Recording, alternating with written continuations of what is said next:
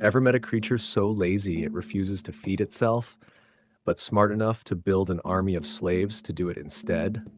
No, this isn't a twisted Game of Thrones plot. This is real life, and the masterminds are ants.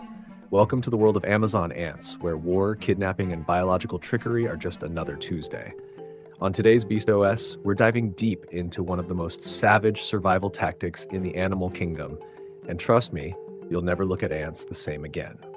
Let me introduce you to the villain of this drama, the Amazon ant, also known in science speak as Polyergus. Now, these guys aren't your average picnic crashers. Nope, they've evolved into something way more sinister. They're professional raiders, kidnappers, and full time slave drivers. And here's the kicker they literally can't survive without enslaving other ants.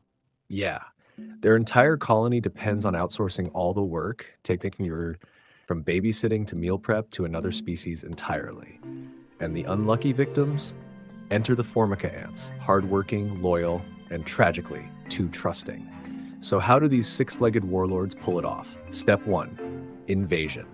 A group of Amazon ant warriors armed with strong mandibles and zero chill storm a nearby Formica nest like a SWAT team. They don't just attack blindly, they're strategic. They bypass guards, kill off the adults, and head straight for the prize the brood, the eggs, larvae, and pupae.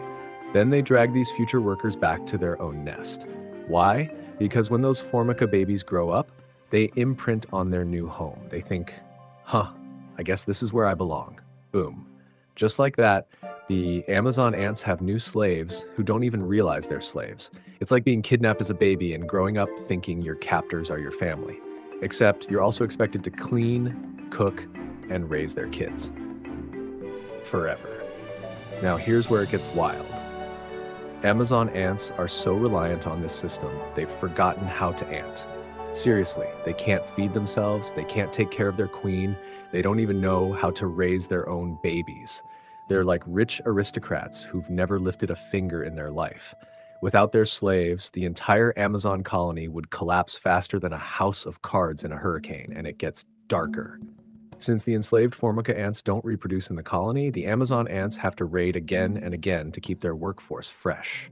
No mercy, no peace.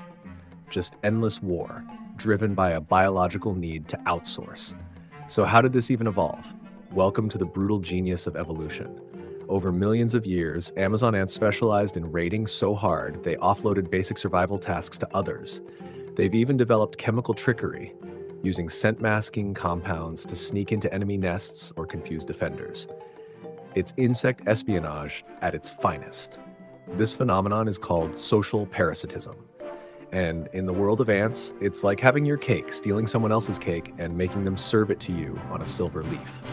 So next time you're staring at an anthill, just remember underneath that dirt is a battle for dominance, identity, and survival that puts most human drama to shame. The Amazon ants didn't just find a way to live, they found a way to hack nature's system, rewrite the rules, and turn war into an everyday chore.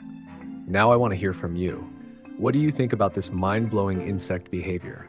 Clever, cruel, or just another day in nature's ruthless playbook?